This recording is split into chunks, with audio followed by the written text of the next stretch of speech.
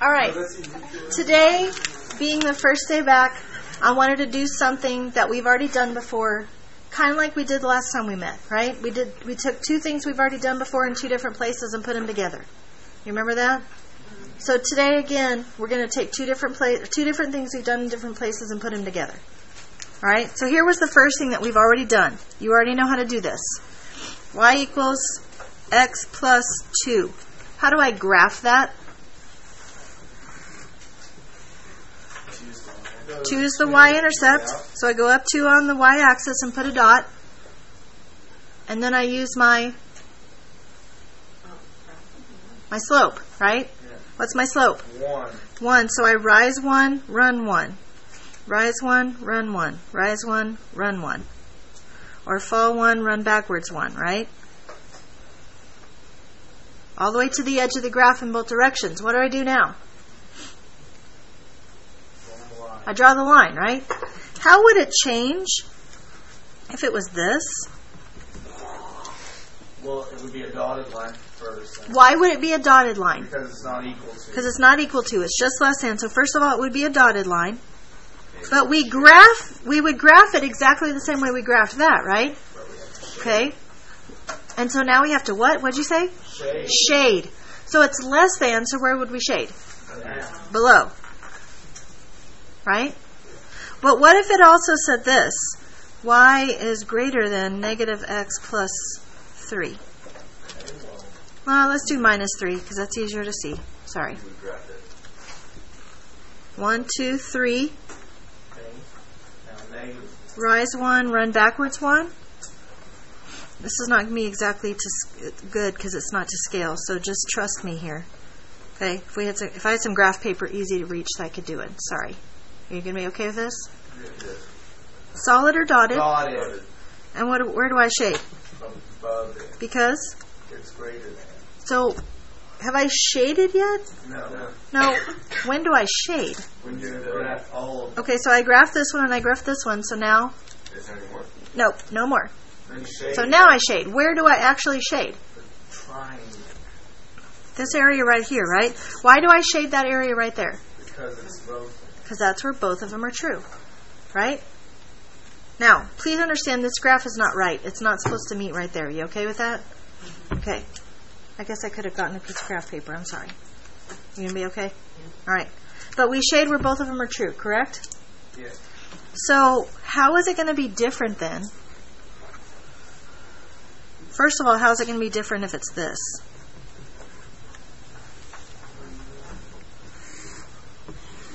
It's going to be a parabola.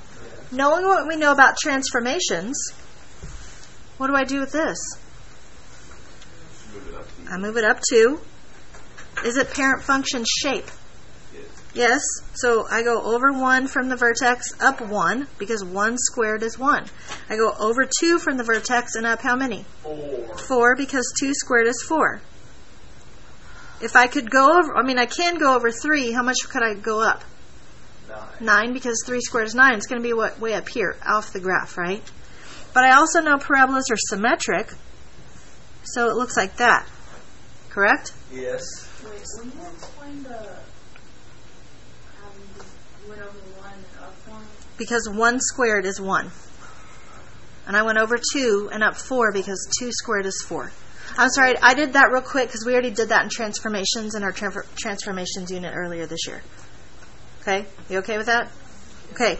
So how is it different than if we have this? Do I graph it any different? No, absolutely not. I still go up 2, put my vertex there, and then I have parent function shape because there's no multiplier here. So 1, 1, 2, 4, 1, 1, 2, 4. But what kind of parabola do I draw? Uh, A dotted. And here's the here's the problem, guys. There's not an above and a below anymore. What is there? Inside? Inside and outside. So we have to figure out if I should shade inside or outside. Well, how should I decide? What if we chose a point? Okay. Yeah. Which what point would be easiest to choose? The vertex. The vertex. Yeah. Wait, the vertex? Oh, the origin. Oh, the origin, right? When's the only time I can't choose the origin? When the line's on Yeah, when the parabola goes through the origin, I can't choose the origin. Okay? So if I plug this into my um, inequality, I would get 0 is less than 0 squared, 0, 0, plus 2. So 0 is less than 2. That's true. That is true. So I shade where it's true. So in this particular parabola, would I shade inside or outside? outside. Outside. So zzzz, all this stuff right out here, right? All this stuff that way. But what happens if I also have another one? Right, so if all I have is one inequality, I'm done, right? Actually, I can actually color all this stuff right out here, right? But what if I also have that? Well, let's graph. Let's graph it. One, two, three, four. Is that parent function shape? Yeah, but it's going. Yeah, but it's going down, right? So over one, down one, over two, down four, down one, over two, down four. And is it solid or dotted? Started. Dotted. What would it look like if it was solid? Let's make it solid because we haven't had a solid one so far. Okay. So it would be greater than or equal, right? Yeah. So it would look like this. Where would I shade here? Well, let's use the origin. Let's use the origin because it doesn't go through the origin. But in this particular red parabola, where is the origin in, in relation to it? It's on the inside, isn't it? Okay? So if I choose 0, 0, I get 0 is greater than 4. Is 0 greater than 4? No. No, so in this particular parabola, I have to shade on the outside of it. Like that, right? Well, where are they both true? Side. So, like Yes. here and here. So, what if I said to you, choose a point that is a solution? Okay, then it would be like, would be something in the green? Something in the Nine, green. 9, 1 would be a solution because that's way over here, up here somewhere, right? What's another point that's in the solution? In one. 10, 1. What about 1 over here? Negative ten. Negative 10, 1. It, it works though, doesn't it? Yeah. Okay? Questions? So if I give you one inequality, like I did the, this one right here, this was the blue one, right? If I gave you one inequality, could you graph that inequality and shade? What if I gave you a system of inequalities? I gave you these two, could you graph them both and shade appropriately? Yes? Okay. So the other thing that you're going to be asked to do on your homework is something like this. 2x squared is less than 50. Have we done something like this before? So we've never done 2x squared equals 50? Oh, Oh, yes. Okay. How would we solve this? I wouldn't. Divide by two Divide by 2, x squared equals 25. Square root. Square root, square root.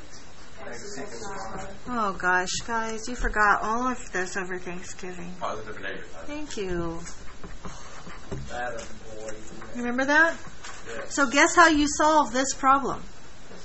By doing this. Literally making it an equation and getting your two answers. Okay? Now you have to go back. What two answers did I get? Positive 5 and negative 5. I have to figure out where this is true. I have to figure out where the inequality is true. How many possible places are there that it could be true? It could be true over here, it could be true in the middle, and it could be true over here, right? Well, here's the deal, guys. Because of the way inequalities work, it's either going to be true in between them or it's going to be true on the outside of them. It's not going to just be true right here. It's not going to just be true right here. It's either going to be in between them or on the outside of them. Does that make sense? We just have to figure out which one is which. So, what should we try? If we're being safe, we're going to try three possible points. One of them would, be over here. like what? Negative 6. One of them would be in between, like what? Zero. 0. And one of them would be over here, like what? Six. 6. Okay? So which one do you want to check first? Negative 6. Okay. Negative 6 squared. Thirty. Positive 36 times 2. 36 times 2, 72. Is 72 less than 50? Then that point is not right. Guess what's going to happen if we do 6? Well, what's 6 squared? It's the same thing. 36 times 2 is 72. That's not greater than 50 or less than 50. What about if we try 0? What's 0 is squared? Less than 50. 0 squared is? Times 2? 0 is less than 50. That is true. That means my answer is in between these two. But now we have to talk about the 5 and negative 5. Are they part of the solution? No, because it's not equal. Because it's not equal to, so what goes here? Dotted, like it's open circle. Open circle, open circle. But where I shade is in between the two of them. What's a way to write this? Algebraically, what's a way to write this? X is greater than negative 5 and x is less, than 5. Either one of these are acceptable answers. Okay? Negative five is less than x. I would like this. Okay? Any questions? Mm-hmm. Those are the things you got to be able to do on your homework tonight. You got to be able to take one inequality, one quadratic inequality, graph it, and shade. Then you have to be able to take a system of inequalities, graph each one of them, tell yourself which way you would shade, and then after everything is graphed, then you actually shade. And then you have to be able to solve algebraically. Now, is it always going to be plus and minus 5? No, because if we factor something, like if we solve it by factoring, we might get x equals negative 1 and x equals 4, right? So I'd have to say negative 1 and 4. Well, what should I check?